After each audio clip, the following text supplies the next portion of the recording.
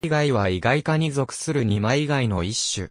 日本には本来分布していない外来種である。オーストラリア、ニュージーランド原産。日本では本州、四国、九州に入分布する。海外ではアドリア海に外来種として定着している。1981年の記載時は、川ひばり貝の亜種リムナーパーナフォーチュネーキクチーとして扱われ、1999年に別種として、現在の学名に整理された。拡張3センチメートル。殻色は赤みがかった黒褐色。内湾や川口の長官帯に生息しており、集団で固着している。日本では1972年に岡山県の小島湾で最初に記録された。その後、西日本各地で確認されている。バラスト水によって拡散したものと推測され、初記録のあった1970年代は、日本とオーストラリアとの貿易量が増大した時期である。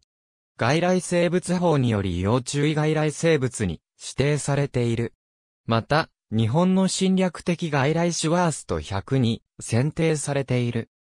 AB コウロエンカワヒバリガイ国立環境研究所、侵入生物 DBE、木村太子、田辺正明、加野康弘、オーストラリア・ニュージーランドに生息するゼノストロブス、セキュリスコーロエンカワヒバリガイリムナーパーナーフォーチュネー、キクチーの日本への移入、貝類学雑誌第58巻第3号、1999年、PP101 から117。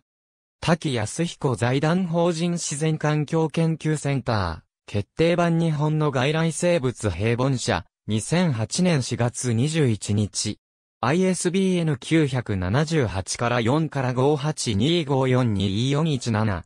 村上交渉、鷲谷泉日本生態学会、外来種ハンドブック知人書簡、2002年9月30日。ISBN 4から8052から0706、X。ありがとうございます。